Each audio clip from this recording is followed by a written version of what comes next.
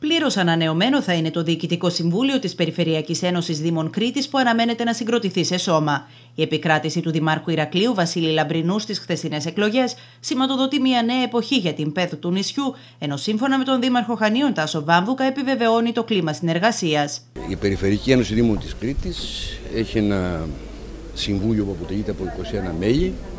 Είναι απαραίτητη και αυτό θέλω να υπογραμμίσω η συνεννόηση και γι' αυτό και είπα ότι η όποια εντός εισαγωγικών αντιπαλώτης θα εκλείψει μετά το πέρας της σημερινής διαδικασίας.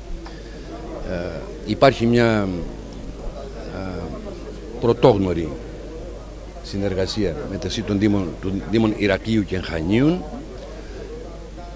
του Δήμου Αγίου Νικολάου, του Δήμου Μιλοποτάμου που είναι ορεινός Δήμος και των άλλων Δήμων που στηρίζουν την ανεξάρτητη αυτοδιοικητική κίνησή μας και πιστεύω ότι όποιος και να εκλεγεί η συνεργασία μέσα στο Διοικητικό Συμβούλιο της ε, ΠΕΔ θα είναι ομαλή και θα οδηγήσει στα καλύτερα δυνατά αποτέλεσματα. Είμαστε λοιπόν ικανοποιημένοι από το αποτέλεσμα. Εμείς θα συνεργαστούμε με όλους και με αυτούς που κατήλθαν με το δικό μας ψηφοδέλτιο και με αυτούς που ε, συγκρότησαν ένα διαφορετικό ψηφοδέλτιο και είχαν και αυτοί ένα καλό για αυτούς αποτέλεσμα.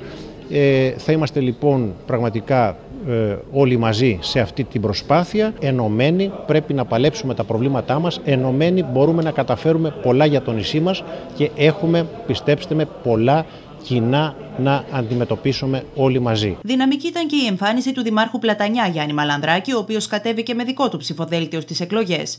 Θεωρώ ότι εμείς σε αυτή τη διαδικασία πήγαμε ένα συγκεκριμένο πλαίσιο αρχών έχοντας ένα ψηφοδέλτιο με δημάρχους από όλη την Κρήτη, με συμβούλους από όλη την Κρήτη, πετυχαίνοντας τον συγκριτισμό στη πραγματική του έννοια που αφορά τα προβλήματα τα οποία διατρέχουν όλο το νησί και ειδικά τους περιφερειακούς Δήμους, που είναι η συντηρητική πλειονότητα του νησιού και κατά αναλογία και στην ΚΕΔΕ, με ένα συγκεκριμένο πλαίσιο αρχών και προτεραιοτήτων για την επόμενη περίοδο που είναι πενταετία, να θυμίσω εδώ. Και ανάλογα βέβαια και να ζητήσουμε και οι εκλέκτορές μας στην ΚΕΔΕ, το επόμενο διάστημα που το συνέδριο, να είναι στην ίδια κατεύθυνση. Θεωρώ ότι το ψηφοδέλτιο μας έτυχε πολύ ισχυρής ε, υπερψήφισης σε επίπεδο νησιού, σε επίπεδο περιφέρειας. Θεωρώ ότι είμαστε ικανοποιημένοι δεδομένων των συγκυριών, των ισορροπιών και όλων των άλλων παραγόντων. Εν τω μεταξύ στην παράταξη του Γιάννη Μαλανδράκη κατέληξε η επίμαχη έδρα στο νέο Διοικητικό Συμβούλιο της ΠΕΔ Κρήτης μετά από σχετική γνωμοδότηση της νομικής υπηρεσίας της ΚΕΔΕ.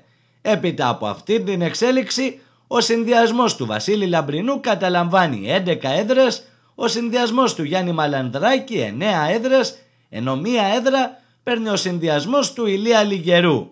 Από το συνδυασμό του Δημάρχου Ηρακλείου, εκτός από τον Βασίλη Λαμπρινό, εκλέγονται και οι κύριοι Βάμβουκας, Μαμουλάκης, Ζερβός, Αρμουτάκης, Κόκκινος, Στεφανάκης, Ινωτάκης, Νίνος, Πασπάτης και Ντουντουλάκης. Από το συνδυασμό του Δημάρχου Πλατανιά εκλέγονται ο Γιάννης Μαλανδράκης και οι Πολάκης, Μπαριτάκης, Κοκοσάλης, Καλογεράκης, Πετρακογιώργη, Μπυρλιράκη, Μαχέρας και Αγαπάκης. Στην Κεντρική Ένωση Δήμων Ελλάδος την Κρήτη θα εκπροσωπήσουν οι κύριοι Κεμεσίδης, Σαρής, Βαρδαβάς, Καραντινός, Νίνος και Λουλουδάκης.